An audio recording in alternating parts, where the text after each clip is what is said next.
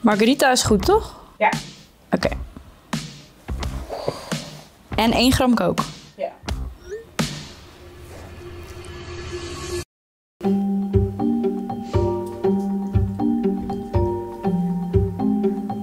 Pizza, 12 minuten. Dealer, 5 minuten.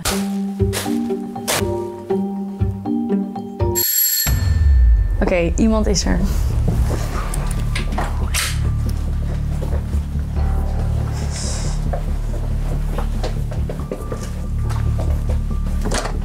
Hi, hallo. Kom binnen. Is niks. Is het druk? Ja, altijd. Ja. Eens toch? Ah, ja. Thank you. Niks. Je bent wel sneller dan mijn pizza. Fijne dag. Ja, koken is toch sneller.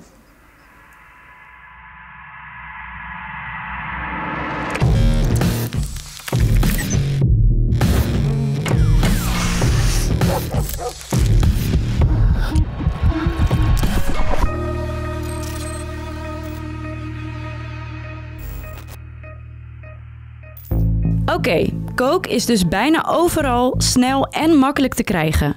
We houden er ook van. 1 op de 15 Nederlanders heeft wel eens een lijntje gesnoven en een kwart van de jongeren vindt cocaïnegebruik vrij normaal. Maar de cocaïnehandel gaat ook gepaard met extreem geweld dat ons dagelijks leven binnendringt, onze samenleving een godsvermogen kost en in Zuid-Amerika zelfs zorgt voor een halve burgeroorlog. Steeds harder klinkt het geluid om een andere aanpak, want de war on drugs lijkt uit te draaien op een strijd die niemand ooit gaat winnen. Als je naar de geschiedenis kijkt, kun je natuurlijk wel zeggen dat die war on drugs een fout is geweest.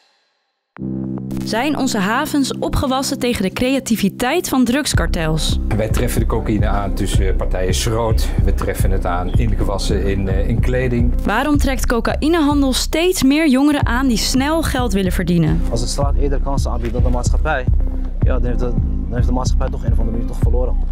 En is er een alternatief? Of je houdt een crimineel systeem in stand, of je kiest voor de legaal geproduceerde cocaïne, waarmee je dus geen schadeberokkend veroorzaakt.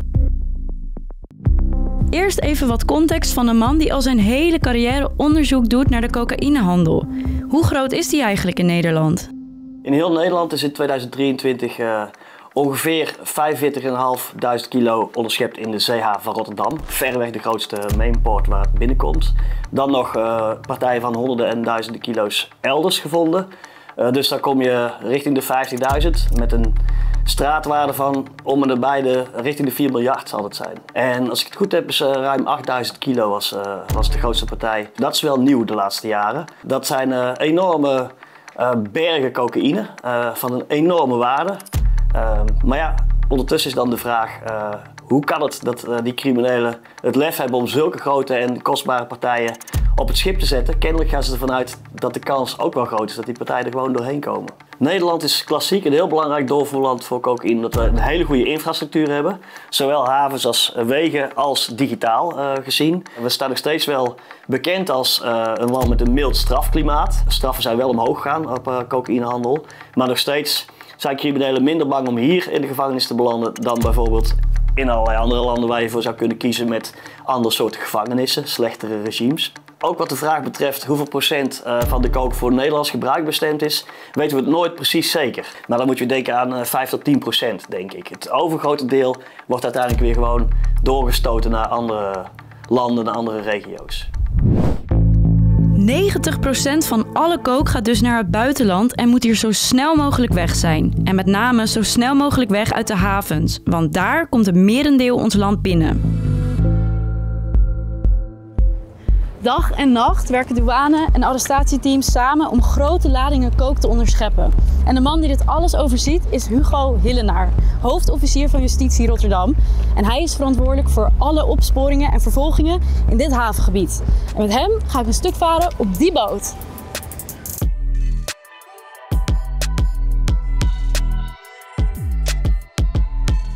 Als je bedenkt hoeveel van die schepen en containers hier per dag binnenkomen, lijkt het mij bijna onmogelijk om al die kook te onderscheppen. Hoe doen jullie dat? Ja, je zegt het wel heel goed. Het is, het is een enorm groot gebied. Hè? De haven is 125 vierkante kilometer. Zo. Er werken 180.000 mensen. Eh, en per jaar zo'n 7,5, 8 miljoen containers die, eh, eh, die hier hun overslag hebben. Ehm, en dan is het inderdaad de kunst om te kijken wat zijn de containers en waar zit de cocaïne in. De producerende landen zijn Peru en Colombia. Dus dat, zijn de, dat is de bestemming. Als daar de lading vandaan komt, dan heeft dat onze extra aandacht. En dat, dat, dat selecteert al. Ehm, vervolgens moet je weten dat, eh, dat wij hier een, eh, een, een gespecialiseerd team hebben, het HARIC-team.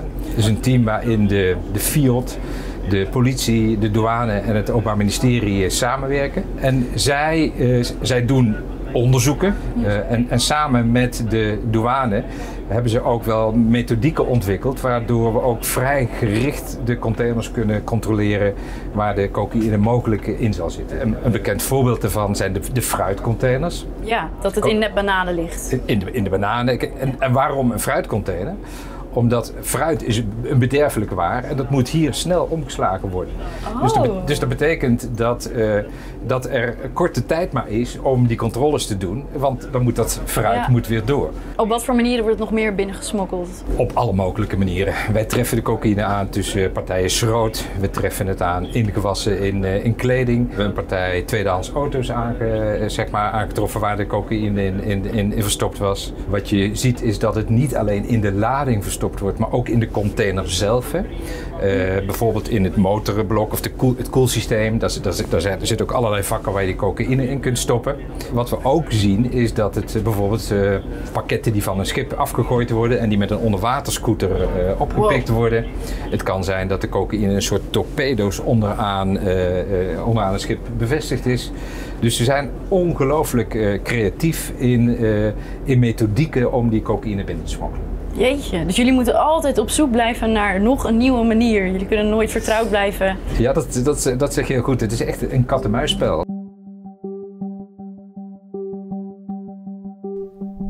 Als de CH van Rotterdam heel erg goed bezig is met het bestrijden van drugscriminaliteit, dan is het risico enorm dat die cocaïne-deals uitwijken naar Antwerpen, maar die zijn ook heel hard bezig, naar Vlissingen, kleinere haven, of naar nog eh, een andere haven, Harlingen bijvoorbeeld, maar ook Le Havre in Frankrijk, Hamburg in eh, eh, Duitsland. En dat zie je onmiddellijk gebeuren. En wat je nu tegenwoordig ook ziet, is dat er een lijn loopt vanuit Zuid-Amerika naar West-Afrika. En dan landt de drugs niet eens aan soms, maar die, dan gooien ze de drugs soms in het water, eh, de territoriale, buitenterritoriale wateren nog. Andere schepen pikken het weer op en dan gaat het via andere wegen verder Europa in.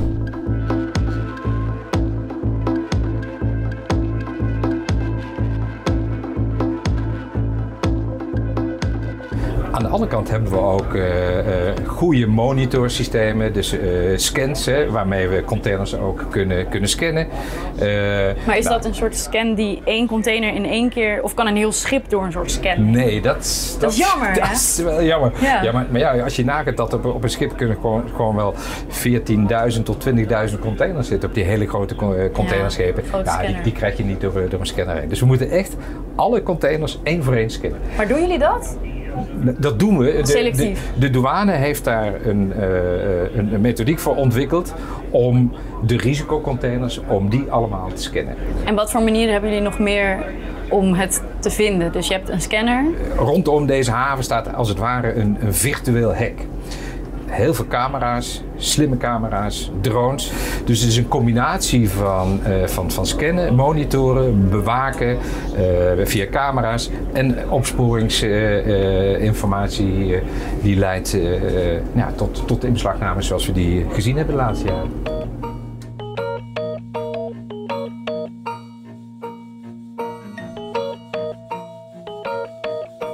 En wat als we het allemaal zouden legaliseren? Cocaïne.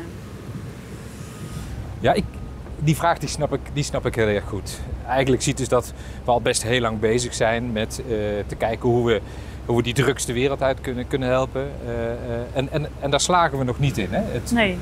het gebruik neemt toe. De normalisatie neemt toe. Het probleem is zo complex, kent zoveel gezichten, is, is zo divers, dat, dat legalisering het niet oplost. Hè. Is dat niet een deel van de oplossing? Of ik, ik, ik denk het niet. Cocaïne g- gebruik, co- cocaïne dealen, cocaïnehandel is gewoon internationaal verboden. En als wij dat alleen in Nederland zouden legaliseren, eh, eh, dan, dan ben ik bang dat het probleem als doorvoerland in Nederland alleen maar groter wordt. Hè? En dat je de rest van de wereld over je heen krijgt. Dus het is gewoon in een internationaal juridische context is het, is, is het niet haalbaar. En als ik dan ga kijken wat de, wat de nadelige effecten van cocaïnegebruik zijn, eh, dan zou ik het niet eens eens durven. Dus er zijn eigenlijk heel veel argumenten eh, waarom ik denk dat legaliseren niet de oplossing is. En, weet je, en ik zou ook het, het risico niet durven nemen. zou legaliseren echt zoveel slechter zijn voor de maatschappij? En hoe zou dat er dan uit kunnen zien?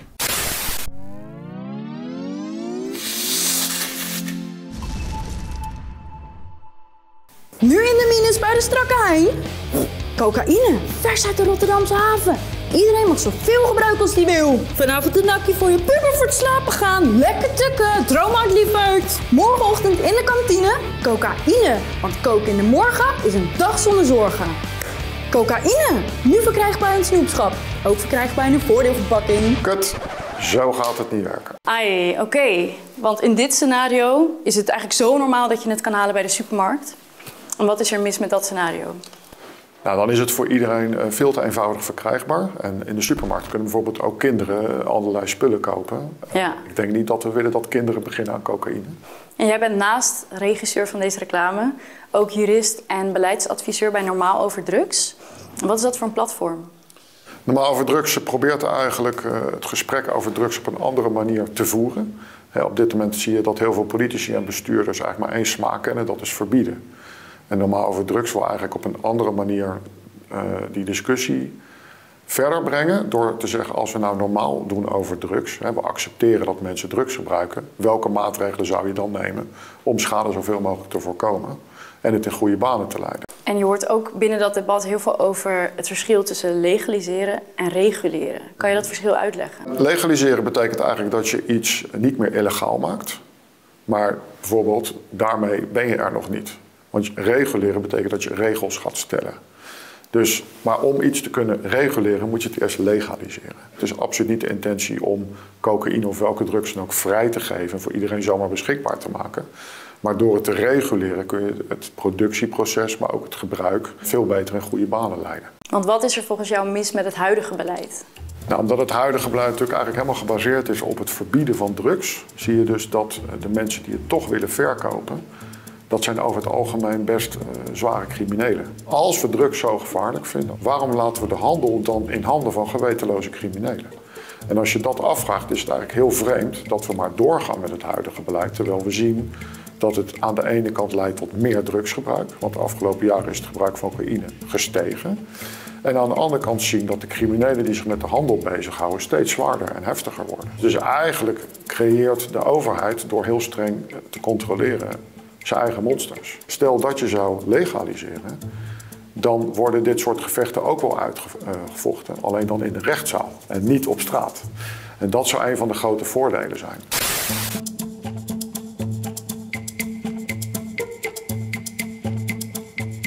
En wat voor straffen staan er op drugsmokkel als hier iemand wordt gepakt? Eh, zo- Zo'n twee, tweeënhalf jaar geleden eh, troffen wij uithalers aan hier op die haventerreinen. Zolang we ze niet bij de cocaïne konden krijgen, hè, ze dus niet de cocaïne Ja. in hun handen hadden, dan konden we ze eigenlijk alleen maar eh, voor verboden toegang eh, aanhouden.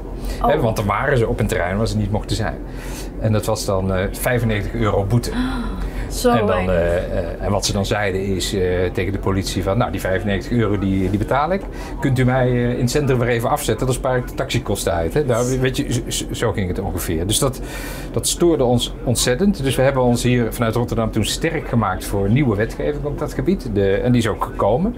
En sindsdien staan daar wel straffen van 1 tot 2 jaar op voor uithalers. Ehm, Oké, en, zo, dat is flink omhoog gegaan. ja, dat is echt wel flink omhoog gegaan. En dat, eh, en dat leidt dan echt wel tot, eh, tot een hogere afschrikking. Er zijn vorig jaar 456 uithalers opgepakt in Rotterdam. 50% was jonger dan 20 en zelfs 20% jonger dan 18.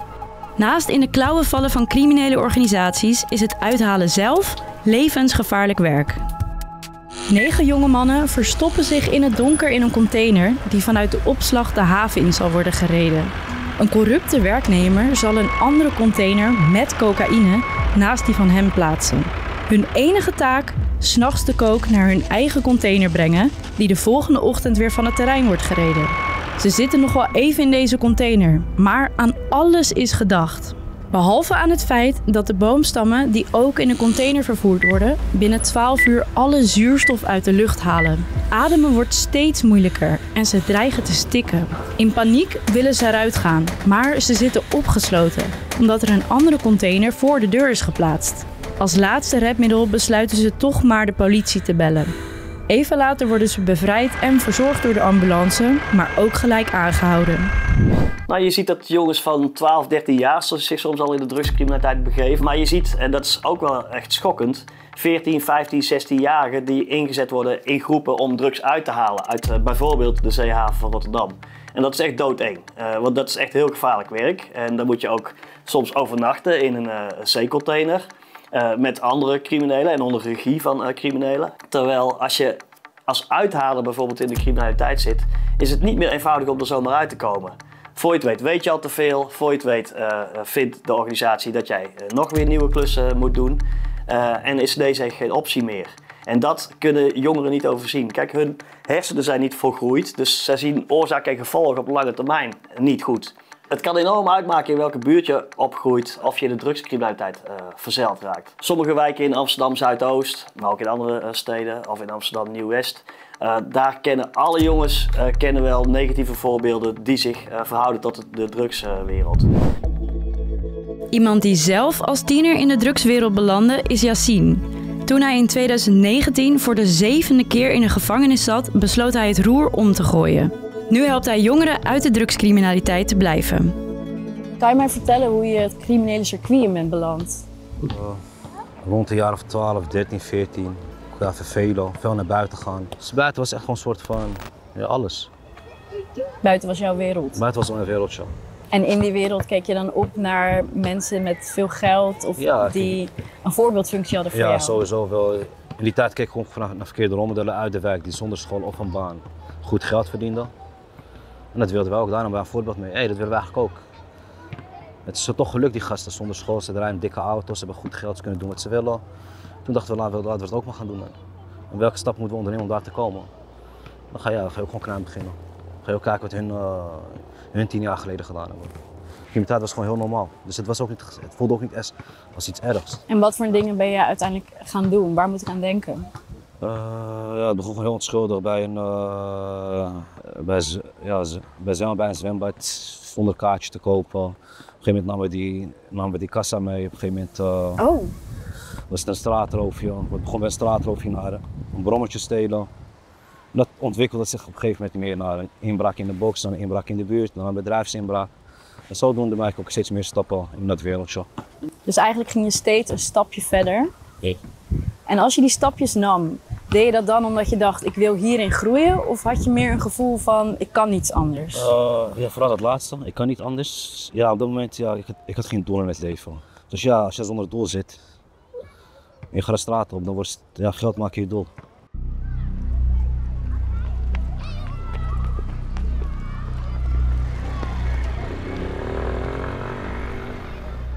Waarom heb je uiteindelijk die stap naar drugs genomen? Ja, drugs is ook minder risicovol.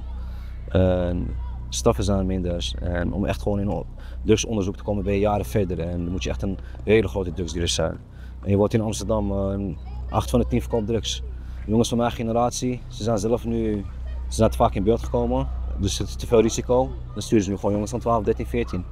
En ja, die doen wel alles voor een paar honderd euro. Die denken, hé, hey, die 200, 300 euro, 400 euro. Dat is een maandsalaris. Het is gewoon ja, wie, wie kansen aanbiedt. Als de straat eerder kansen aanbiedt dan de maatschappij, ja, dan, heeft de, de maatschappij toch een of andere manier toch verloren.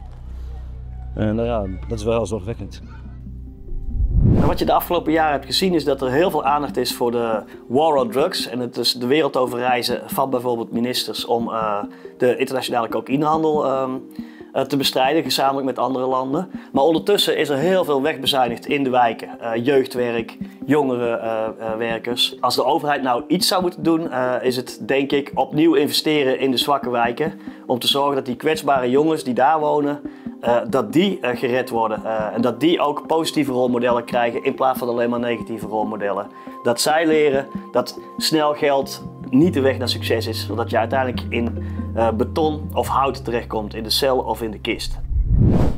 Shady is net als Yassine een paar jaar terug uit het criminele circuit gestapt en probeert nu ook jongeren op het rechte pad te houden. We maken een wandeling door de wijk waar ze vroeger dealden.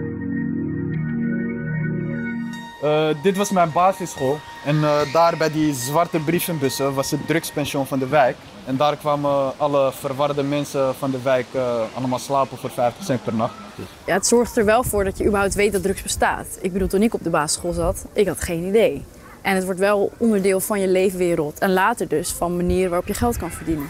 Ja, ja het was wel duidelijk voor mij dat dit uh, niet alleen maar alcoholproblemen waren en zo. Wat je kon nader tegenkomen, et cetera. En uh, ik denk als je op de basisschool zit, dan uh, is het nog net iets te vroeg. Maar op je 14e, 15e, 16e, dan kan je hier wel wat potentieel in zien. Je moet, het ook zo, je moet het ook zo zien. Als jij een jongen van 12, 13, 14 jaar bent en het zijn je buren, mensen met alcoholproblemen, drugsgebruik. En ze vragen je elke dag, heb je wat? Nou, als jij tien keer gevraagd wordt, heb je wat? Nou, de twaalfde keer en je hebt echt wel geld nodig. Dan denk ik echt dat een jongen van 12, 13, 14 wel wat op zak heeft. Dus zo gaat hij er ook naar kijken van, hé, hey, dat is mijn winstmarge. Dit was echt specifiek het crackprobleem. En later merk je van oké, in de drugswereld zijn er ook divisies. Dus uh, dan uh, denk je, okay, je denken aan uh, pakjes verkopen, et cetera. Dus dit is een instapmodel. Pakjes met? met cocaïne en ah, ja. alles wat daarbij hoort. Dat is meer voor de studenten. Ja, precies. Hmm. Dus, en die wonen eigenlijk ook hier allemaal in de buurt. Alleen iets daarachter, misschien op de Maasstraat of zo.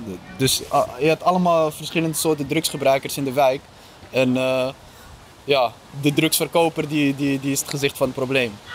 Maar we staan in Amsterdam-Zuid en ik dacht eigenlijk dat het heel posh was hier. Ik had helemaal niet verwacht dat dit hier allemaal gaande was. Ja, maar ja, je hebt wel een posh deel van uh, Zuid, misschien uh, het museumkwartier en zo. En uh, dat overschaduwt misschien de problemen die hier zijn. Maar je hebt zeker een stuk of twee, drie wijken die, die gewoon met serieuze problemen te kampen hebben. Ja, gewoon er zijn twee leefwerelden in één wijk eigenlijk. Ja. Iedereen leeft langs elkaar heen op een soort van. Als je weet waar je moet kijken, dan zie je het wel. Ja, zeker. En uh, letterlijk hier achter deze straat heb je bijvoorbeeld uh, het Mieruizenplein en daar is heel veel nieuwbouw.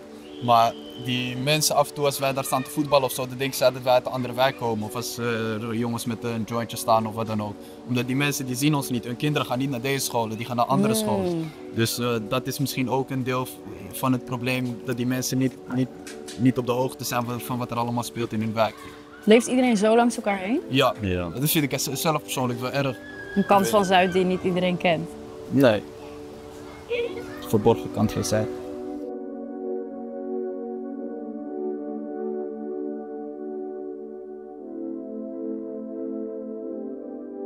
Volgende keer laten Shady en Yassine me zien hoe die twee gescheiden werelden naast elkaar bestaan als ze me meenemen naar een crackhuis midden in een van de betere straten van de buurt. Het ziet er wel heftig uit, een soort donker. Dat is eigenlijk precies waar ik aan denk als ik denk aan een crackle. En onderzoek ik of er naast de supermarkt nog meer modellen zijn om coke te legaliseren. Maak nu een afspraak bij uw huisarts voor een recept voor cocaïne.